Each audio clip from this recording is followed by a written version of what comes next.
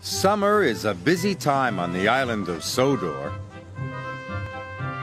Vacationers have so much to see and do. There are trips to the seaside, balloon rides in the country, and a brass band playing in the park. One morning, Edward was in a hurry. He didn't even stop to say hello to Stepney. Thomas was pleased to see Edward. What's up? Your smile's as broad as your smoke box. I'm on my way to pick up the brass band, replied Edward. The concert is tomorrow night. Don't crack your smoke box, teased Thomas. Edward couldn't wait to hear the brass band play their wonderful music. He was so excited about meeting the brass band that he didn't notice the giant crane. It was unloading a huge ship's boiler. Suddenly, the crane swung the boiler and knocked Edward right off the track. Cranky had been watching. You useless little engines are always in the way. Poor Edward. Sir Topham Hatt came immediately. We will take you to the fitter's yard, and Bertie will have to meet the brass band instead of you. Edward was sad. That night, a raging storm rolled in.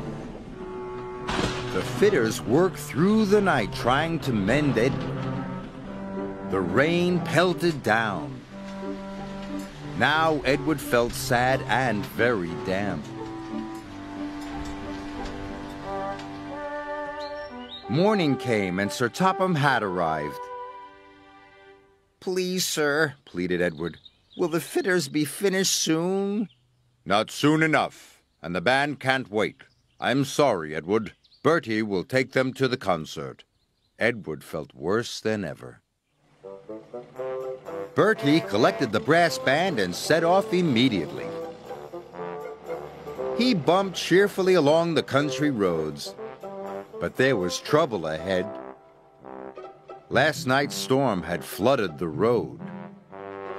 Bertie's driver decided to take a shortcut.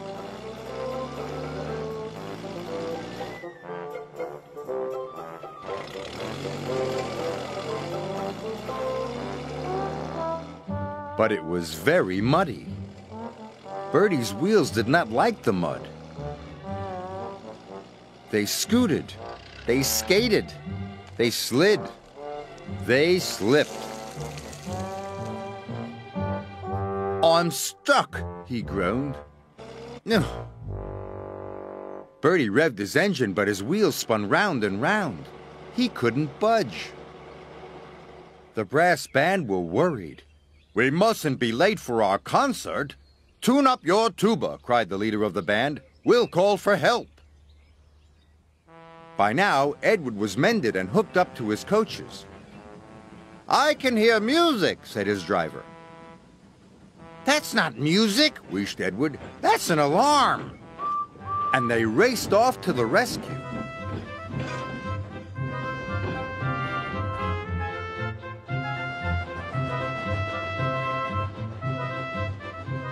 The musicians were delighted to see their old friend.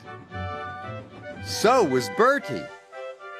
I'll get you to the concert in time, Edward cried. Thank you, said the worried bandsman.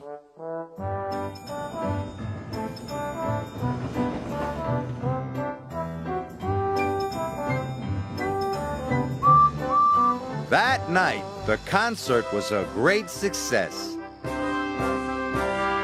Everyone loved the music,